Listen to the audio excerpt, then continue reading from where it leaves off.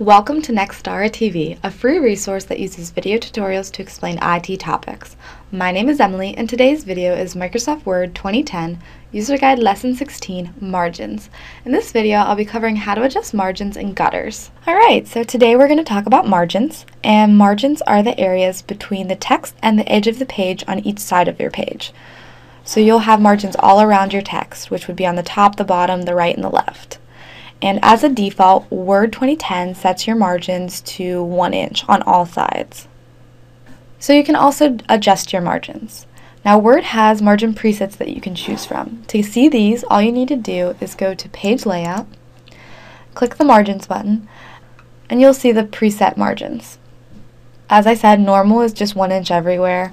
You can have a narrow margin, a moderate margin, a wide margin, um, a mirrored, which will allow you to have margins for if you were doing a book or a booklet.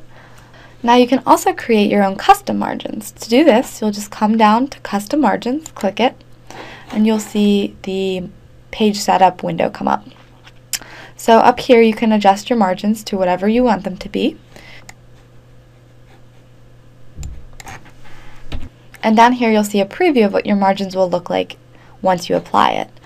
You can also choose if you want to apply the margin change to the whole document or from this point forward in the document.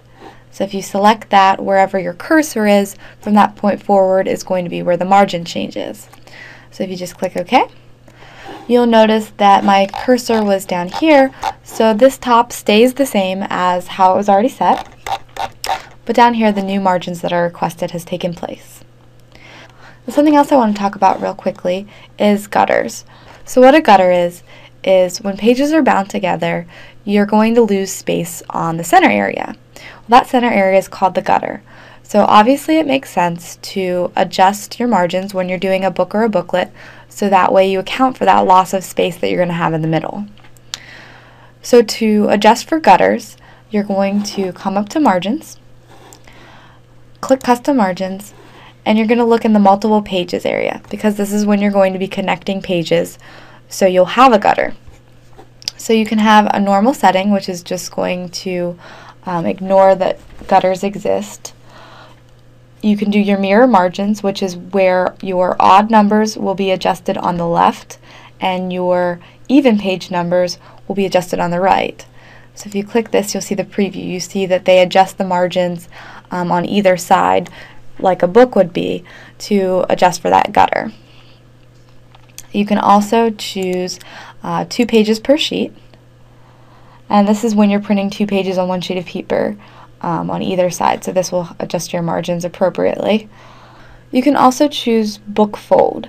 And this is the same as two pages per sheet, except that landscape's the only orientation that you can use, and you'll need to specify how many sheets per booklet.